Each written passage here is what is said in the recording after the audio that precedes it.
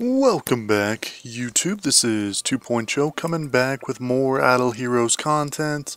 Today, first things first, I've got so much of this gold that I really don't know what to do with it.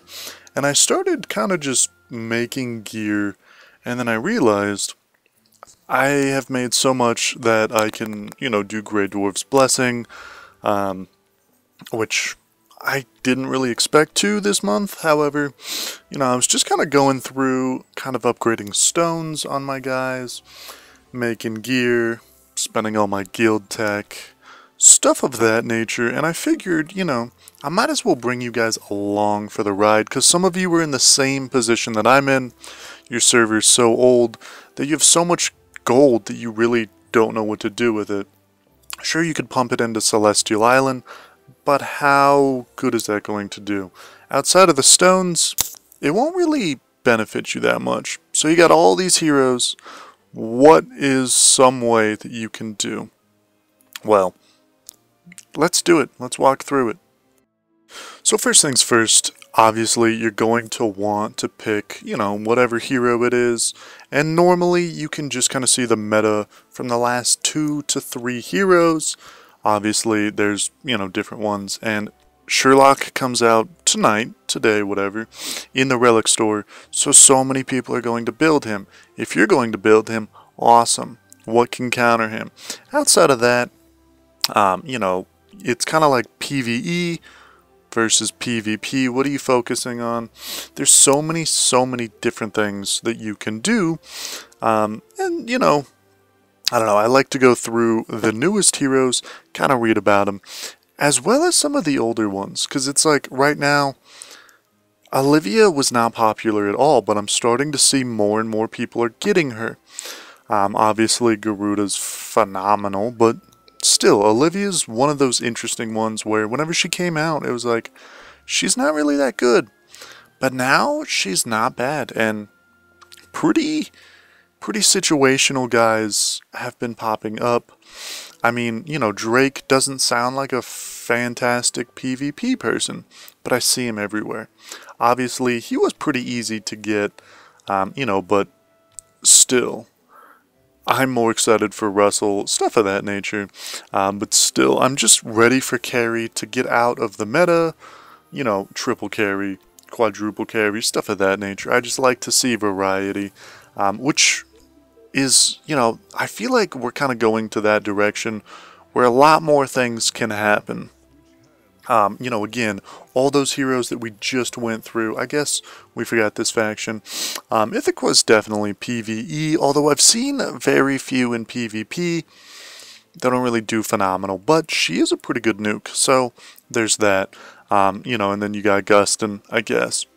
But still, there's so many different builds you can try, and yo, his his narration is so long. If you guys didn't hear that, um, log into your game, turn it on, and just just listen to that. But anyways, um, you know, I kind of look at what faction they are and who I want, who I need. Um, I only have one ranger set. I have like an extra mage set lying around, so I don't really need that. Assassins aren't super, super popular, although there is a new assassin coming out tonight. So make sure, you know, if that's what you want, if you're going to build the newest hero, it never hurts to pick up an extra set. Outside of that, you know, Sherlock's coming out tonight as well. So you kind of have to think just for a second. And I know you might be wondering, well, why did you pick Ranger? And the thing is, I don't have enough. I've got most Warrior and then Mage. Ranger just kind of fits the best. Priest, it's nice to have like one set, which I do. Um, and then, you know, Assassin, really, it's 50-50. Like, are you going to run more than two Assassins ever? I don't know. Um, but again, just kind of stepping through, I finished everything, and this is kind of where I'm stuck at right now. 264. We might as well do one more roll. Sadly, I couldn't get that. Um, and I only spent the 20 $20 pack, so it's not too bad. But I got this chest, and that's really all that I was hoping for. I wouldn't mind the 9 star, but, you know, honestly, I don't really want to drop another 30, 40 bucks. Sure, it's not too bad, but it doesn't really sound worth it to me. Um, but still, I don't know. Just completing as much as you can really allows you to build a lot more heroes and progress and this and that. So I mean for next time if you want to drop 20 bucks you can get roughly that. Um, I mean you can even do better but I just wasn't having the best luck. Still the game is changing pretty drastically um, and you know these are just ways that I kind of tackle it. Um, I don't know I just figured since a new hero's coming out tonight. Before you guys make any big decisions, you should look at your team. You should look at, you know, the resources that you have because just by looking at your bag, you might be able to make an extra 10 star. You might be able to bump someone up to E5. It really depends on where you're at. Um, but also, little fun fact, they removed the 15 round battle. We'll get into all this tonight. Um, however, the game is, I feel like it's slowly creeping out of the meta that it's in. So all I'm really saying is don't get too comfy and take a second to think about everything that you can do. You can spend so much, you know, of the resources that you have to better your team. So really that's it. Um, if you guys enjoy, I know that this is just a little bit different of a video.